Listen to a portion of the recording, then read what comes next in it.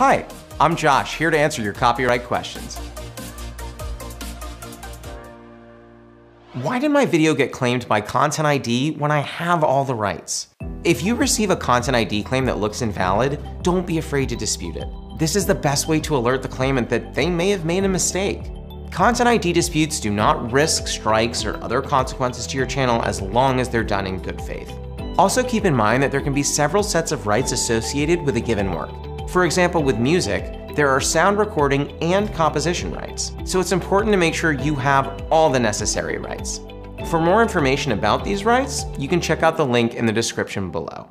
Why do I have to wait 30 days for the claimant to review my dispute when they just end up rejecting it? The dispute process has evolved over the years to balance the rights of copyright owners and uploaders. Disputes are reviewed by the claimant because YouTube cannot make ownership determinations.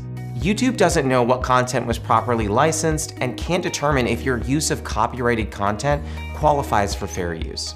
Keep in mind that when you dispute a claim, we collect the revenue during the dispute process and pay the appropriate party once the dispute is resolved. And what about appeals? Why do those also go to the claimant for review?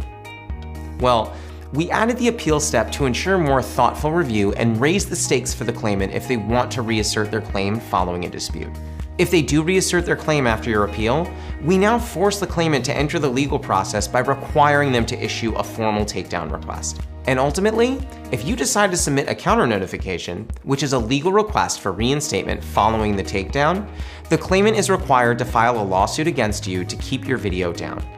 Check out more info in our Help Center linked in the description below, and be sure to check out the other videos in our copyright series linked here.